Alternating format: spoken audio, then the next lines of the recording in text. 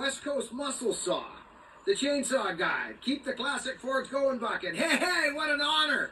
There's a there's a guy right there. Good to see you. Is it Rich? Is that right, Rich? I think that's Rich. Friends, Rich is here. The original chainsaw guy from YouTube. The guy's oh, Rich, brother. Good to see you. Yeah, I'm gonna restore it, brother. I can't. I can't. It's got too many memories.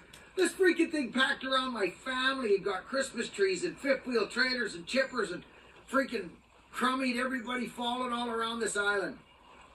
I gotta restore it. Thanks for that, buddy. Rich, friends, listen, right now, if you don't know who Rich is, West Coast Muscle Saw, go to his freaking channel right now and go subscribe to that guy. He's a freaking wizard in the power saws. He's like an old Bobby Walker, not quite as old. But this guy knows his business on all the old Macs and the new stuff too. Go subscribe to this man's channel. Please. The chainsaw guy right there. Rich, love you, brother. I gotta come visit you.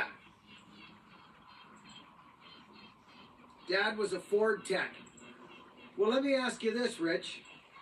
Well, I love old trucks. I don't care what brand they are. But what I have experienced here in the last 30 years, they're so strong. They, they, you see a lot more Fords on the logging roads than you do Chevys. That's for a reason. Chevys are, are, are spectacular. I love driving Chevys. But to working, a working truck, I have found the Fords. Hi, Chica. Hi, baby. Come. Come on, Chica.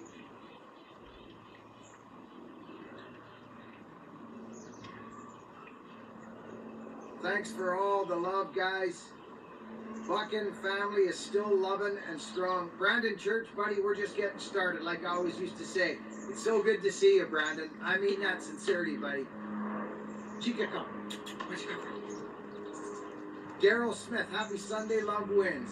Daryl Smith, there's another amazing supporter of the channel, friends. Daryl, we love you, thank you. Matt, Matt, good to see you.